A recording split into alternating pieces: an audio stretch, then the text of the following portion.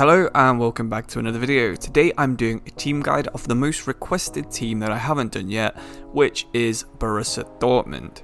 Of course, one of the most famous and popular teams on FIFA, known for their bright yellow kits, passionate fans, and good young talent.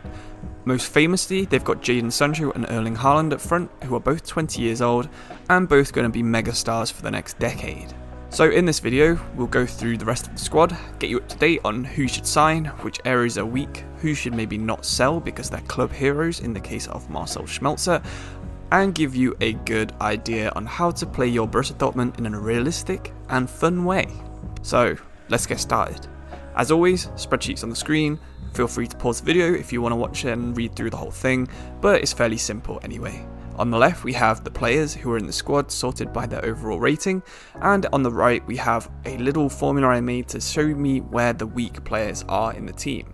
In this example, you can see that left back, right back, and striker are the weak points, but as always, we'll take that with a grain of salt and use our own judgment because we probably couldn't say that Erling Haaland is a weak point of this Borussia Dortmund team. What it has done though is highlight an area we do need to look at, which is striker. So in a way, it's worked because the only backup to Erling Haaland naturally is Stefan Tigges, who's a 64 overall player with 70 potential. Definitely you're going to need a backup striker here, but it's going to be up to you if you're going to retrain someone like Marco Reus to play striker, or if you're going to go out and get that big name backup that Dortmund attempted to do in real life.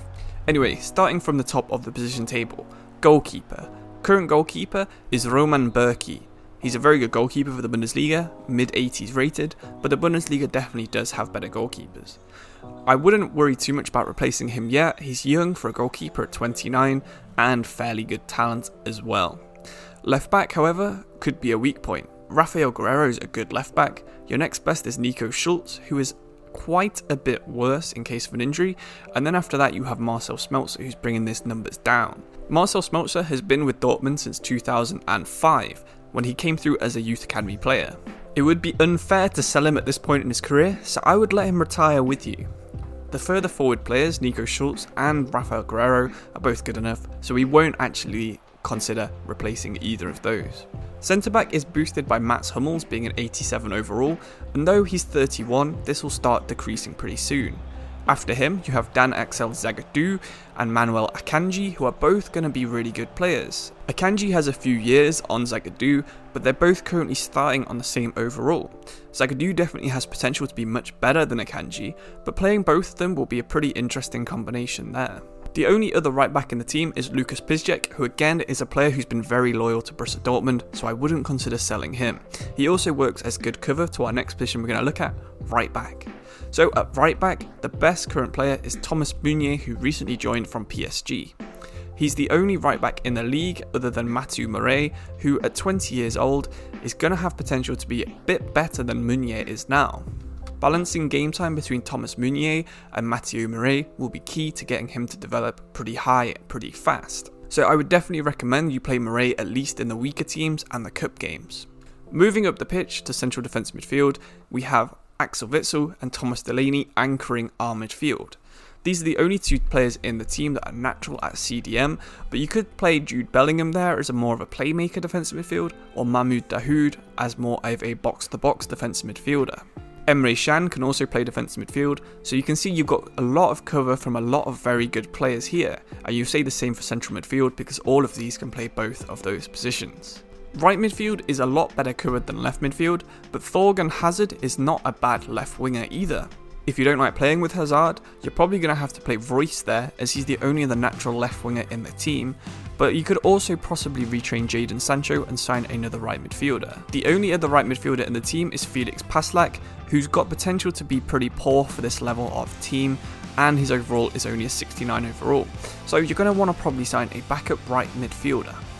At attacking midfield, you also have quite a lot of good options, Marco Reus being the key one, but also Julian Brandt and Giovanni Reyna, all both having the potential to be just as good as Reus starts off with.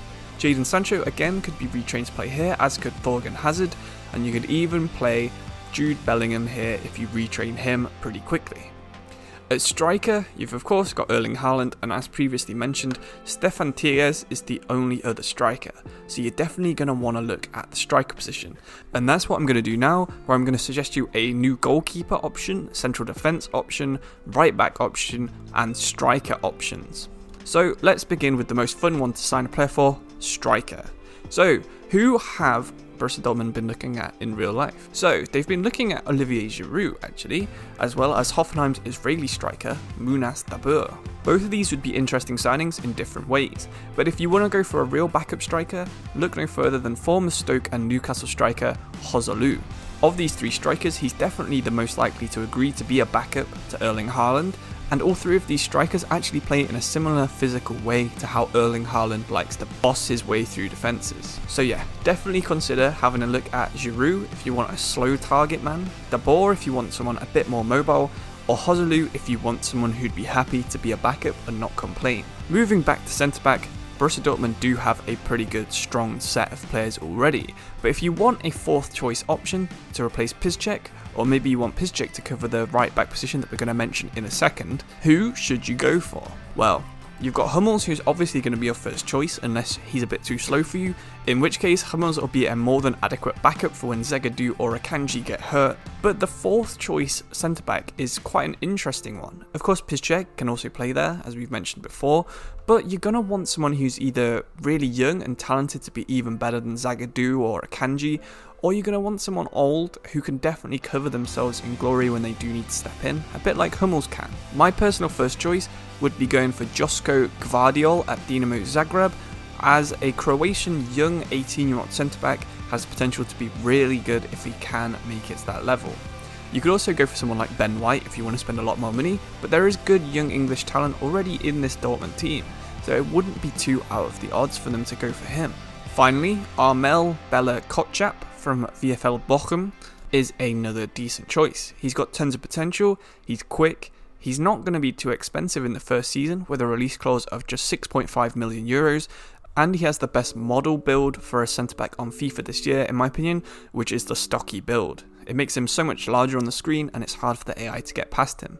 85 strength, 80 sprint speed, 75 jumping, good defensive standing tackle and interceptions mean he's going to be a breeze to develop. As well as being German and having a 5 star weak foot, he's just the ideal backup fourth choice centre back. I recommend you have a look into him no matter who you're playing as.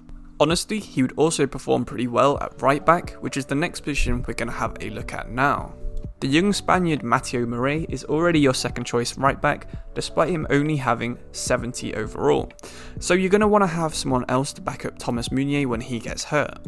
Don't get me wrong, Meunier is a very good right back, but until Morey hits his development peak, he's not going to be good enough to back up for Thomas Meunier. So, who are the options to back up Meunier? As previously mentioned, you could get the centre back and retrain him, but you could also go for someone like Tariq Lamptey at Brighton and Hove Albion to join the English Revolution.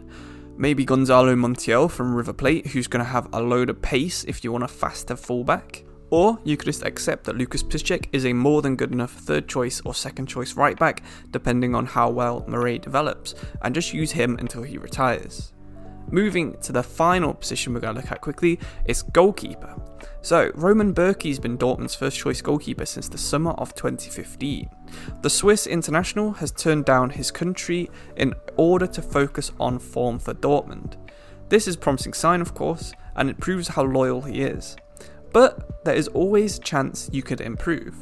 Real Sociedad's Alex Remiro has been a very good goalkeeper this season, and he's probably the best goalkeeper to have not been capped by his country in the whole of the world. You could also help Dortmund's image in United States by getting Zach Steffen to be your backup goalkeeper. I know firsthand that Zach Steffen can be a very good goalkeeper when trained right. His reflexes are already really high, and you only need to watch one of the World Cup games that I did on my channel recently with the USA to prove how good he can be. He stops anything. It's actually better than some of the legends that I've used on Ultimate Team.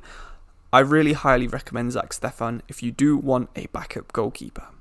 Anyway, that's my view on the Dortmund squad. And if you are a Dortmund fan, because I know quite a lot of you are, then do let me know how I got on with this analysis. Let me know if there's any signings that you think Dortmund will go for this season, because it'd be interesting for me and for every single person who's considering doing this save to hear it straight from a Borussia Dortmund fan. If you want me to do a team guide on any of the team, drop it in the comments below and I'll consider it for the next batch of these that I record. But anyway, thank you for watching and I'll see you in the next video. Cheers!